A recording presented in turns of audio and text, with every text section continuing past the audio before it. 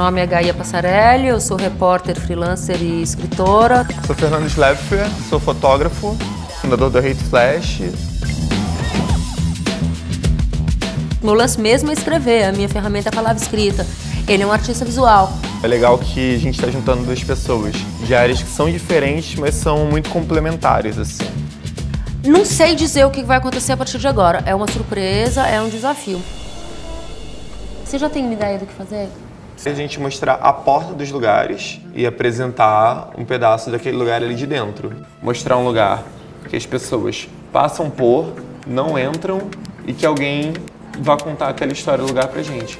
Eu gosto muito dessa ideia da gente entrar nos lugares. Ao mesmo tempo, o centro é muito explorado pelo nosso rolê, já é meio over instagramado, Sim. assim.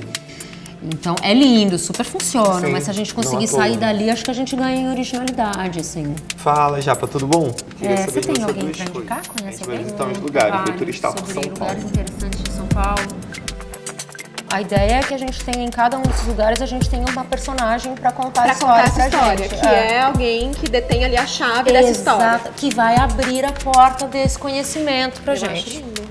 Acho que é muito legal mostrar essa, é- é- esse prisma, como se a pessoa estivesse de verdade entrando no, Então. no espaço. Su- super funciona.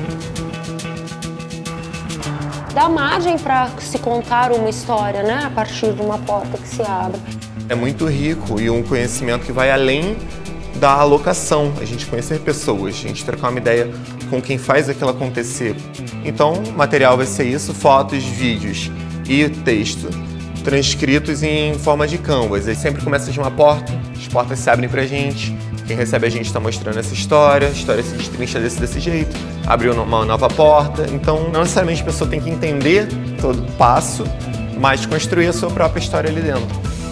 A gente pode ir descobrindo conforme a gente estava andando. O que eu acho que tem muito a ver com viajar. Quando você viaja aberto, você se permite muito mais, né? Você descobre muito mais coisas.